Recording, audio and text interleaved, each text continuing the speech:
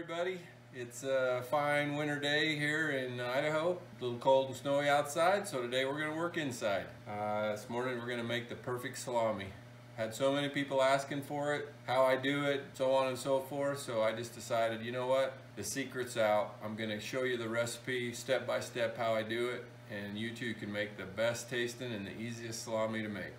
So we'll get into it here shortly. This is pretty simple. I'll go over the items that I'm going to use in my batch. Um, there's a lot of things you can add for your own flavor, your own taste, whatever your preferences are. But here's the basics. I'm going to add about three cups of cheese. I'm doing a 15 pound batch. I put about a cup per five pounds. I'm going to put a few jalapenos in, probably get roughly a little over a cup of jalapenos. Uh, they'll be seeded and deveined, get all the heat out of them. I'm basically after flavor, not heat. Um, I'm gonna put some uh, green olives in mine, and this is our seasoning. This is uh, Hi Mountain Seasoning out of Wyoming. I'll put the link in the description. And uh, here's the cure that goes in that. comes from the same company. Uh, the recipe calls for 10 ounces of the seasoning and 4.2 ounces of the cure for every five pounds. The key to good salami is good meat. Uh, my salami that I'm building today is going to be half pork and half elk. I do mine in a 50-50 batch. Uh, but the key is good quality meat.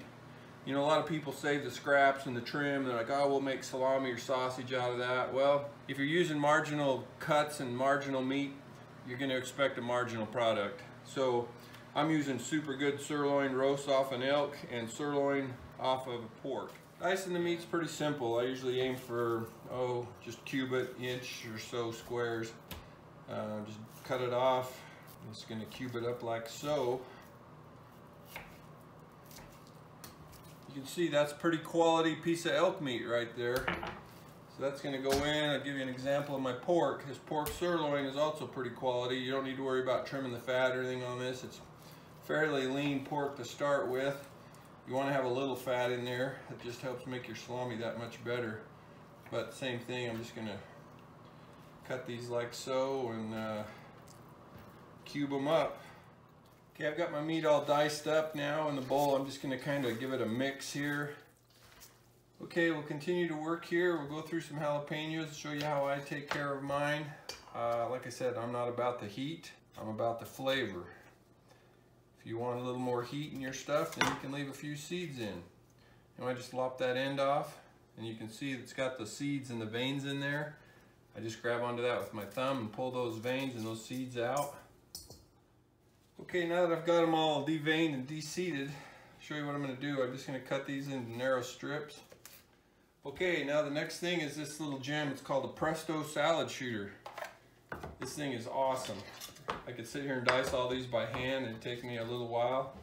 But I'm just gonna load these in to the hopper.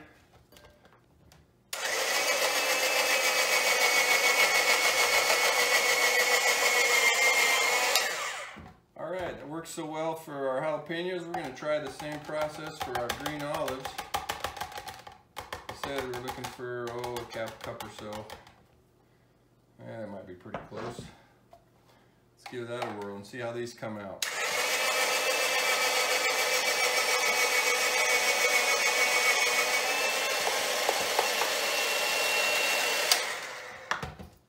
Okay, there's one thing we need to do right off that I kind of forgot about, and that's our casings that we're going to stuff our salami in. These are mahogany casings. I get them from LEM Meat Products. The link will be down in the description. But uh, you want to get these things soaking right off the bat in some hot water. Um, that'll soften them up and help them stuff better so they don't tear or helps you get just a little more uh, inside of them. But I got a pitcher here with some hot water. I'm just gonna set those aside. At this stage of the video, I think it's time for a proper introduction. I'd like to introduce you to Rex. Uh, that's short for T-Rex.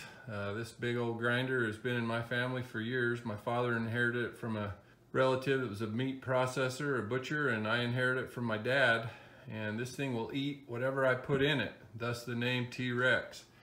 Now one thing you'll notice that I've added here That's a foot pedal. Um, that foot pedal acts as a third hand so I can just step on that and run my grinder. If you don't have a foot pedal for your grinder, I highly encourage it. That just is a time saver and really helps out, especially when you're stuffing. But when you're grinding, it helps as well. So,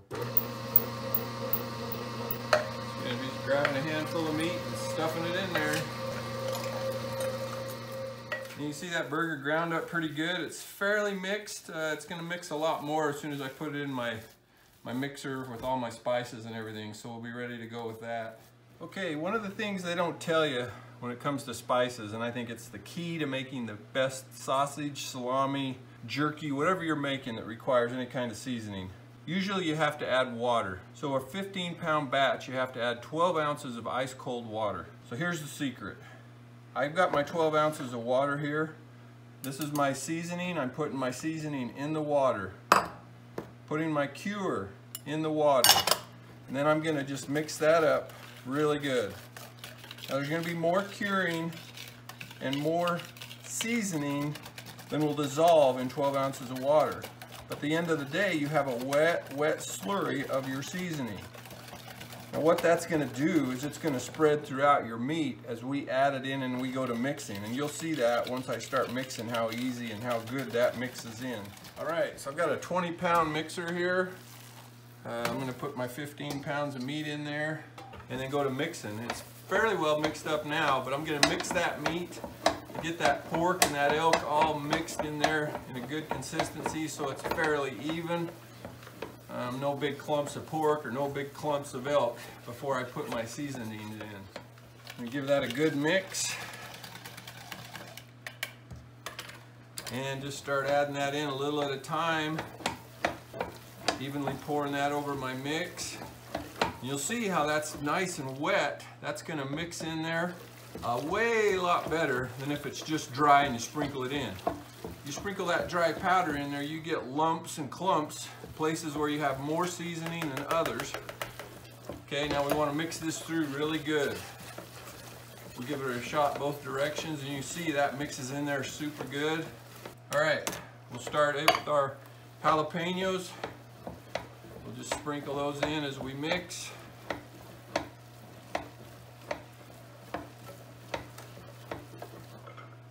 Clean those out. All right, let's add some of our green olives in there. I can feel that meat starting to firm up as I, go through that mixing process.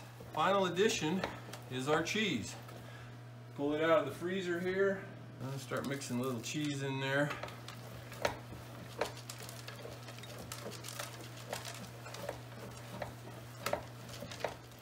Now that cheese being frozen will help cool your mix off as well. But you can see by that cheese being frozen as I mix, it's not going to break that cheese down and turn it into a powder or anything like that. Okay, it's critical to explain something here. This is the 3 16 plate I use, and that's the blade. So the blade goes in first, the plate goes in second.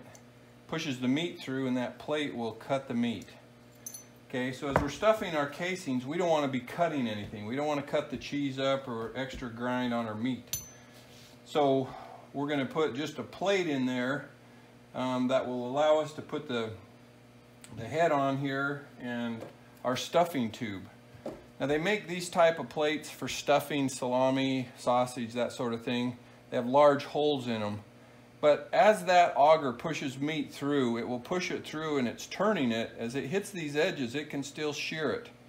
So what I've done is I've taken one of these plates and I took a plasma torch and I cut everything off except the two critical parts.